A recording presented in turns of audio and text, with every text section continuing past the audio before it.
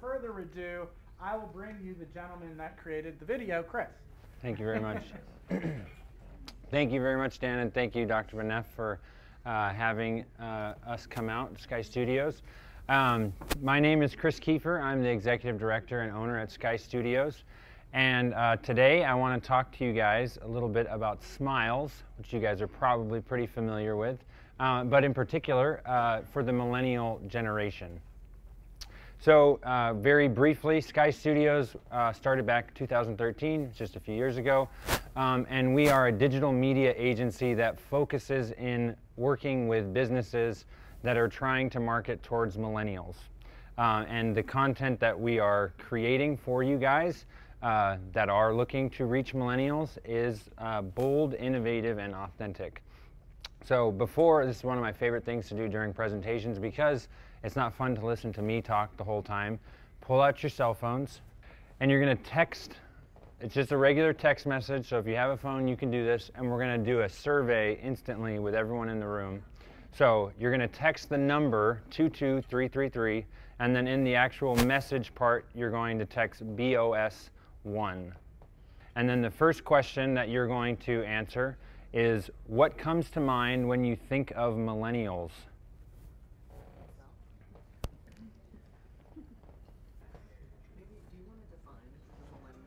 Yeah. Mm-hmm. Yeah. Great. Okay. So, lazy, ungrateful. This now we're getting to some real stuff. This is good. It's amazing when you take away the names from the responses. All of a sudden, the truth comes out. So, um, great. Okay. So, the uh, the next thing is what are millennials, obviously? So millennials that we're talking about are age 16 to 35. That varies a little bit depending on the group that you're talking to, but roughly um, the way the research that we've done on millennials is looking at how uh, millennials are the largest buying generation in history. Uh, a lot of the people are growing. The, I mean, millennials are now getting to that, you know, the 25 to 30 year old range, 35, and they're starting to have kids, and they're starting to buy things for their kids. And the, a couple other interesting notes about millennials is that they've grown up with the internet, they've grown up with technology, and they seek experts. They trust experts more than they trust people that they know. So I don't know how many of you have kids that are in the millennial range. But how many times have you said over and over and over the same thing to them and they you know, repeat it a bunch of times and they're not whatever they're doing their own thing and then all of a sudden one day they come back and say hey guess what i just heard on so and so who's an expert or a teacher told them or they saw it on youtube or something and now they believe it because it came from an expert in the field as opposed to their parents who they know and trust and should realize that they that's the reason that they exist. But it's another another conversation for that but they also they want transparency. They want to know, they don't want the idealized version of the world. They just want they're smart enough now and there's enough content out there that they know when uh, things aren't real and it's not exactly what's happening. So being transparent is very, very important and millennials are looking for that authentic, just this is who we are, we're not hiding anything, you know, here's our practice, very, very open. Um, and then the last thing I think is really important, important is that they are more interested in buying experiences than they are products. So we'll get to that in just a second. Now I want to go back in time. Uh, this was a picture of me taken last week. Uh, back when I was, I think, I don't know, fifth grade or something. And the reason I bring this picture and this story I want to tell you is uh, my, I'm the middle of five kids. And every single one of the, the kids in our family all had to have orthodontics or uh, ortho treatment of some sort. So my family is what you guys like to call job security. And uh, we, whatever happened with genetics, we've uh, definitely done our fair share of support for the dental industry. My brother, as you can see, big underbite right there. I had lots of spacing. I now still am going back for my third orthodontic treatment because as I got older and grew up, my jaw apparently grew when I was 24 and then teeth started hitting weird. Anyways, so I'm back uh, visiting my orthodontist again. So the story I want to tell about my personal experience with smiles is back at Carroll College. I played basketball at Carroll, and in the um, one day at practice, uh, we do our lifting regimen, and we were doing push press. So I don't know how many of you guys know what a push press is, but you got the big barbell bar, and you kind of squat down and throw your arms above your head. And dentists, you guys probably know where this is going. I'm telling a personal story about a big heavy metal bar going past my face. And I was doing last lift of the day, you know, six reps, seven reps, eight, smashed the bottom of my uh, jaw, and ooh, it's hard to see. That's uh, right here. This I took it in the locker room on an old cell phone of mine, but this right here is chipped off, and then this got chipped, and my uh, uh, canine got chipped as well. So immediately, you can also see that I still had, you know, really bad spacing. I'll get back to what happened there in a second. Now going back to uh, this presentation. In working, and when Dr. Beneff invited us to come speak here tonight, our company specializing in marketing to millennials, uh, we've, we've done some work with dentists, um, and the work that we've done with video and websites has been very good, but by no means are we a dental marketing agency like Dan or um, Matt with um, Hook SEO or WEO Media. However, like with any other client, we started reverse engineering. So if I was a millennial, what am I going to do? I'm going to go on my phone or my computer in the area that I'm in, and I'm going to type in the word or the thing that I want. So that's exactly what we did. We typed in dentist, our office is in Hillsboro, Oregon, came up with 70 results on Google Maps, and we took all that data and we came up with 15 questions, and then uh, we hit the phones. So uh, me and Pat in our office over a two day period spent hours and hours, over 100 phone calls, and got in touch with 60 dentists. And we got 15 responses to the survey. And if you think I'm kidding, I'm not. This is our spreadsheet that I made. You know, I'm an engineer. I love the numbers and analytical data and everything. So we did learn a couple things. The first thing that we learned was that office managers don't like taking surveys from telemarketers which is why we only got 25% response rate.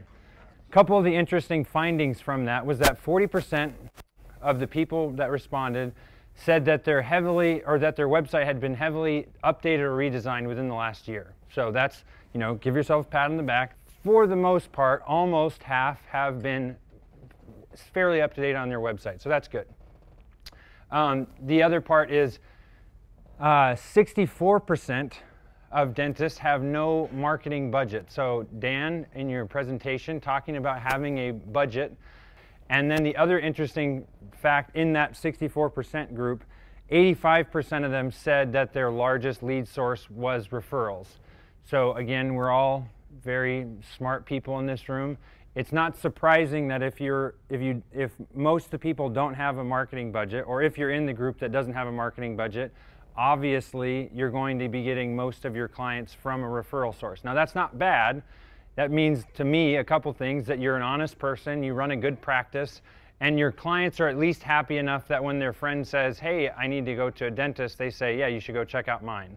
So that's not a bad thing. It's just something to realize that if you're not getting referrals from other places, it potentially could be because you're not you don't have a, a solid plan for that. And then the other thing that was uh, astonishing was that of all the people that we asked, only 30% post on Facebook more than once per week. So that's like this is like of all the things that I could that we could focus on, this is a pretty like um, interesting number because this I'm not talking about Twitter or Instagram or any of the other social channels which you should also be on. We're talking about Facebook, which is one of the most popular, and only a third of you are posting on it more than once per week, which also explains why when we ask the follow-up question, do you feel like social media is has helped the revenue of your practice? The answer almost unanimously was no. And I would say because you're not using it right. It does nothing works if you do it once every so often. So then, next question, do you use video on your website? So obviously, you know, those numbers, I wasn't satisfied with only 15 responses. I don't know how many of you guys took statistics, but I did, and I know that that's not a very good confidence interval. So then we went back to the drawing board and looked on Google Maps and did another search for uh, again, Hillsboro. Our office is right about here, so that explains why the dental offices around us showed up. And then we started clicking on every single website, and we went through 61 websites and looked on the front page how many dental offices had a video that I could click on right when I'm on there, anywhere on the front page. So before I give you those results, pull out your cell phones again. We'll have a little game. How well do you guys know your own website? So the question is, do you have video somewhere on the front page of your website? That's actually, that's good. So that is uh, encouraging for us because the 61 websites that we looked at, 12% uh, of them, roughly one out of 10, uh, did have some sort of video on their website. Now I have to say because we, we work with really nice quality video and we're pretty snobby when it comes to that, some of those were like a slideshow that looked like it was made on Windows Movie Maker back in like 1995 or something. We still technically gave it to you because according to Webster, that does fit the definition of a video. But just to just to point out, still, that means in this room, just like you guys all just told us, one out of 10 of you have video on your website. And then another side note, just to be completely transparent, 4% did have some sort of link that said, click here, go to our YouTube page, or go to our video resources page or something. So why does video matter? And I apologize for this. It's probably pretty hard to read from the back, but I, will explain. The reason that, that we care so much about video is because currently video is the number one way to convey a story, uh, a medium. In today's world, it's the best medium to convey a story and a message to your audience. You can, in, as you saw from Dr. Beneff's video, in less than two minutes, we quickly explained, we saw the doctor, you saw his practice, you saw the outside of the building, you saw the inside, you saw that his staff was friendly and that they were smiling and that they were helping people. And then you get to see what the values are, you get to see why Beaverton oral surgeons exist, what they're trying to do, what their goals are. And that all happens in two minutes. And if you were to go try and figure that out and find that out on a website by clicking around, it obviously would take you a lot longer. But the other thing to note as far as video, st video stats go with SEO and all that stuff, which I'm sure Matt and Ian can fill us in on, is that um, when you have video on your website, people stay on your website longer because they're watching that video and they're engaged with that. But the other thing is a couple statistics on here that I'll point out. 58% of consumers consider businesses that produce video content to be more trustworthy. So when you're looking at, again, I'm talking about millennials and marketing to millennials. If you're creating content, you're, you're exposing more of yourself to that uh, potential patient before they ever get a chance to come in and see your practice. That's, that's building trust because you're showing them who you are and what you do. The other thing is, um, 71% of consumers say that video leaves a positive impression of a business. And then 77% of consumers consider businesses that create online video as more engaged with customers. And that obviously is if I am working to create any sort of content and share that with uh, the, my patient um, base or the potential patients, I'm making an effort to provide value, just again, like Dan was saying, and helping clear, clarify or, or make, make an effort to get to know my patients or help them get to know me. Now, back to this story um, with my teeth. So, the reason that I decided to tell this story today is uh, before I chipped my teeth, uh, this and this happened my freshman year of college. Um, I have always been very self-conscious of my smile, and I always felt like whenever I was in a conversation talking to someone, and it, whenever I would smile, I always felt like people were looking at how much space I had in, in my mouth. And uh, uh, my orthodontist told me that apparently, for the size that my jaw is, my teeth should actually be twice as big as they are. So I don't know how that gets messed up in genetics, but it is what it is. And my teeth are way too small. So uh, what ended up coming from this was I went to the dentist, and a previously cosmetic procedure suddenly becomes non-cosmetic when your teeth are chipped. And the dentist in Helena, uh, that where I went to school, uh, fixed up my smile, made it look great. I remember leaving the dentist that day and immediately I took a picture of my smile and posted it online. And I sent my family a picture, a message, and was like, look at how awesome this is. And I know that the going back to what I had said about millennials are more interested in buying experiences than they are product. The thing that I think is so amazing about dentists and the work that you guys do is that you're not selling products. You're not selling fillings, toothbr toothbrushes, and toothpaste. You're actually selling a healthy smile, something that literally gives people confidence and allows them to go meet new people, talk in front of people, start companies, do well in school. You are selling experiences, which is exactly what millennials are looking for these days. And that, again, is just my own personal note of I've been there and I know how grateful I was and how excited I was once I had a smile that I wasn't afraid to show off. So, the three takeaways for my presentation. If you aren't marketing to millennials, you're going to be left behind. And what we mean by that is millennials, as we said, they're getting older, they're starting to have kids. But the other thing is, how many of you have asked your son or daughter or someone else that's in the millennial range how to use your cell phone or some piece of technology? Show your hands, be honest. Everyone's done that. I asked my brother two months ago how I use the latest Snapchat update because I'm already starting to slip because I, it, it's moving so quickly. But the point is that when you market to millennials, you're marketing to everybody because the millennials are the ones that everyone wants to be young again. Everyone wants to be cool and hip, and they all want to be able to use all the social media stuff. And when you market to millennials and you can find the content that is helping them, they're the ones that say, hey, mom, hey, dad, hey, grandpa, check out this online. Did you know that you can do this? Have you heard of this? What, and they're, they're educating their parents and the older generations on these decisions that they're starting to make. And then the other fact of the matter is that the reason that you're going to be left behind is because millennials are going to continue to get older and that age is still going to go up. And even if you don't have a large demographic of millennials in your practice now, eventually you're going to, or you're going to need to. And I can tell you one thing that millennials are not going to stop using social media. They're, they're going to continue to utilize technology as it continues to change rapidly.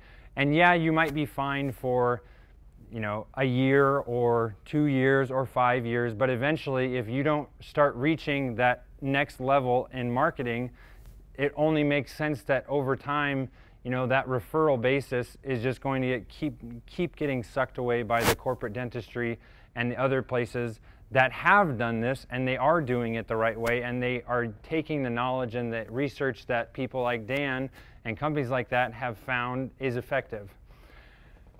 And then the last thing is, it's just a natural. We were sitting here talking about this at the office this past week, and all of the things that we were talking about, they want authenticity. They're seeking experts. That's what, and, and they want experiences. That's exactly what dentists like. You have all of the things that millennials are looking for. You just need to start sharing it and giving that to the, the potential patients and posting that content online so that you can help educate people. And then the very, very last thing is um, if anyone that wants to, uh, this is for, we have, um, I have a thing where I actually hate paper. I can't stand it. So we're a digital media company and we like sending stuff to people and giving stuff out. But we send it out in email in digital form because when I get paper, I scan it into my computer and then I throw it away immediately. So the only paper that I brought was my business card, which is on your desk. But if you guys are interested, we have a lot more information regarding marketing to millennials. We don't want your information just to have it and put it on our email list. And I can also say that we're only going to send you information regarding the dental practice. So this isn't a spam thing, but if you would like to, uh, this will be available to text in for like the next five minutes. Just text in your name, your dental practice, and your email, and we would be happy to send you this PowerPoint presentation digitally via email, and then a couple other interesting notes regarding um, marketing to millennials. Uh, thank you very much. Our email at SkEye Studios is info at sky, that's S K E Y E, like your eye, skeyestudios.com. And you can find us on every social media channel out there. Um, so thank you very much.